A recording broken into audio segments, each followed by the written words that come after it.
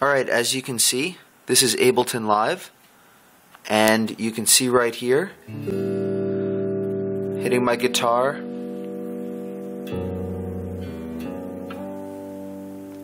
Coming in through the Ubisoft Rocksmith cable, USB, directly to quarter inch, just like that.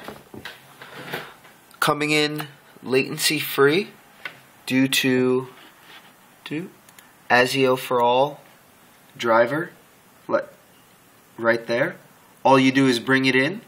Disable the things that you don't want in your sound settings just like that. Disable. And then the ASIO driver can take over control of it from the Microsoft drivers. And you're ready to go as you can see, just even with a little finger tap, created latency free or low latency in Ableton Live.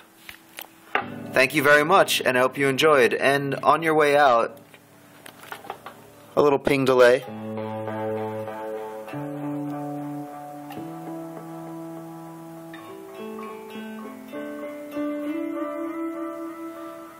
And that's it. Thanks a lot.